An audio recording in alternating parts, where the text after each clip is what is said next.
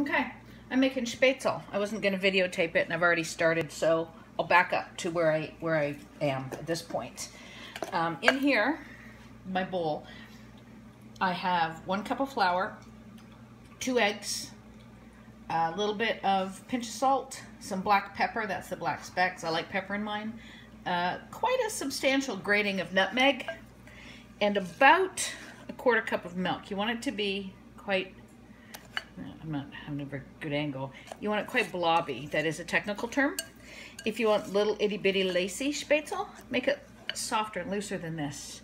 If you want great big rockstar spätzle, spätzle, sorry, make it thicker. But I think this is about right. Um, I have salted boiling water here. Actually, I should probably take these guys out first. Um, you get a lot. I got boiling uh, ice water here too. Get a lot of spätzle, a lot of noodles for very little cost input um, at all. Oops. I'm far messier when I'm being watched. So here we go. Water's boiling, salted. Um, I have this little spätzle maker, however. You don't need one. Uh, any kind of colander works really well. Strainers with holes uh, a box grater. You can buy those flat box graters. Um, I did that for years before a friend gave me this. So for this one, you sort of drop the dough in and then slowly roll it forward and it sort of pushes the batter down through the holes. These things are pretty cool actually. And so you sort of run it back a couple times till your little bowl is empty. Okay. I don't really think I have enough in here to mess with, but I was taught 100 years ago, you scrape out your bowls that way. You get everything. So this one little cup of flour and the two eggs will do enough, more than enough spätzle for Connor and I for dinner tonight, which is fantastic. There you go, that's it. This is the easiest thing on earth. And when they give them a little stir around, hey, look at this. You could season these any way you want. You could put garlic powder in or any herbs that you like. Actually, I quite like it with herbs. I didn't think to do that this time around. Um, these were a bit, a bit tiny, the first batch. But yeah, look at this. So basically, when they come to the surface, they're done. And give them another minute or 30 seconds or so. Boiling so they look they don't look wet and raw. Scoop them out. See look at these little darlings. Oh I'm gonna burn myself if I do that so I'm not going to. I won't okay I will. I'll sample one. Ow ow ow. Hmm. They're tender. They have a really good flavor. I think it's the nutmeg and I like them quite eggy with the two. I use extra large eggs. And that's it. So um, I'm going to, they're in ice water right now. And let's take a look. I'll bring you over here. Take a look. See, here they are in the ice water. I'm going to drain them here in a sec, put them on the counter covered, and then at dinner tonight, I'm going to fry them up. I'll, the second half of the video will be the good stuff, the, the frying up bit. Uh, I need to go get my bacon fat. Yeah, this is going to be good. Okay, I'm back. I'm just going to do, this is the part two of the spätzle. Look, Ooh, here they are. This is a little bit of bacon fat that I had left over. Uh, just shushing, I'm getting a little handful of this. I'm just cooking just for me right now. A big piece of all that. Okay.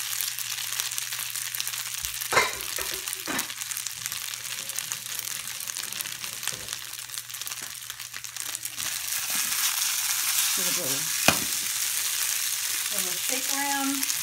The pepper.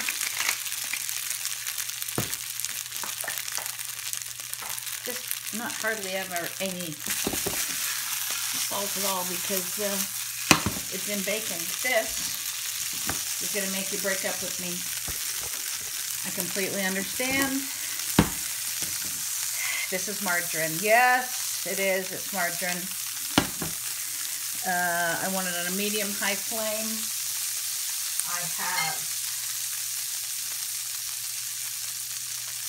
some uh, pork. And I combine my eggs and flour together. Okay? So you get it nice and coated.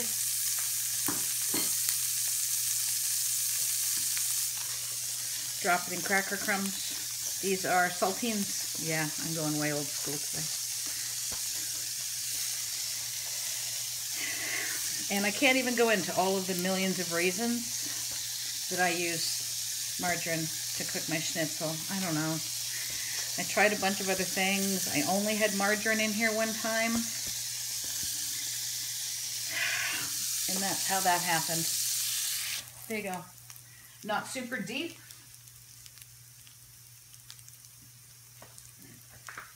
I'm going to turn you off while I wash my hands.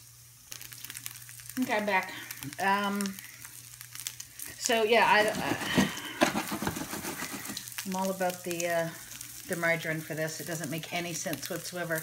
I have a little bit here melted in a cup that I do a little tiny bit on the top. So when I flip it, up, so when I flip it over,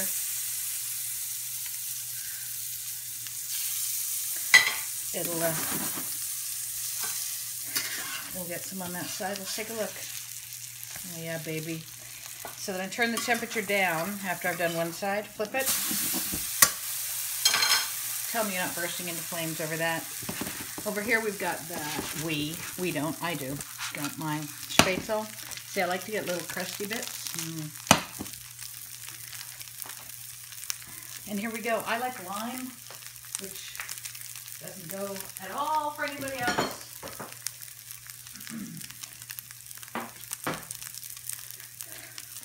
Now it's a little bit of lime squeezed on. Let me just get this cut.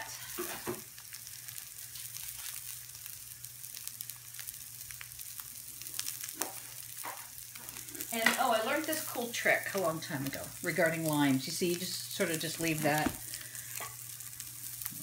around the edge.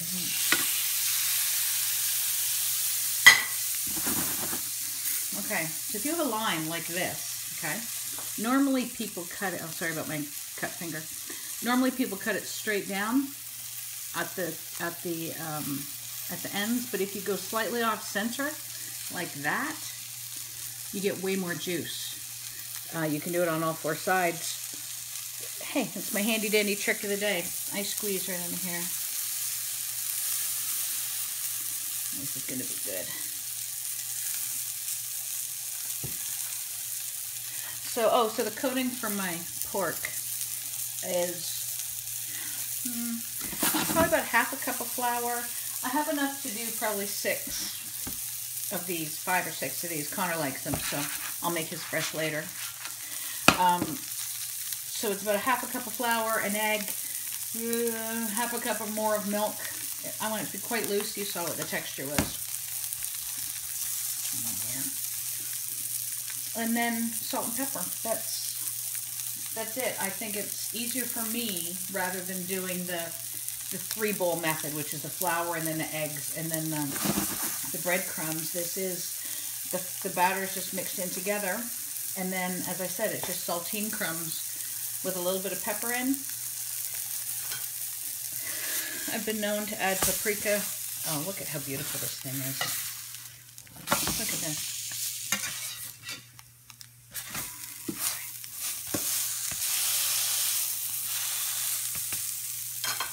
And that's what we're going to do. We're going to sit here just till we'll be done very quickly. I'm a peeker in that I cut it to look in to make sure that, oh, look at that little crunchy bit. Oh, yeah. Mmm. Mmm. You know what I'd like on that?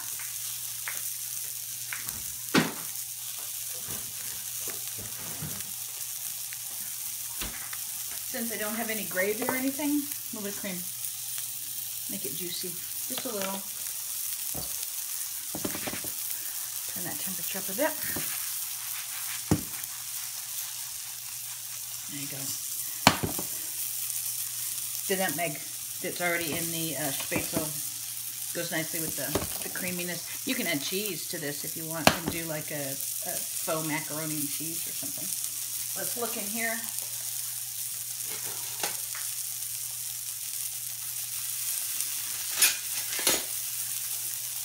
Probably done, but look, I cut. Perfect. Perfect. Okay. So that is some beautifully cooked pork. Okay. So we I, I'm going to take my spätzle, put that on my plate.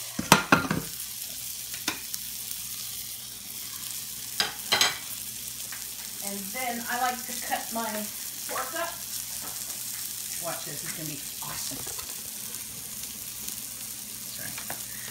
Move you over to one side. Take the pork out.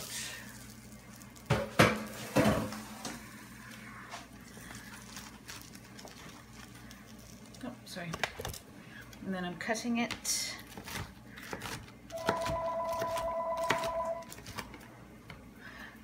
Beautiful creature.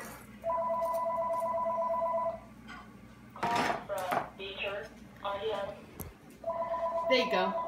Lunch. Dinner. Fantastic.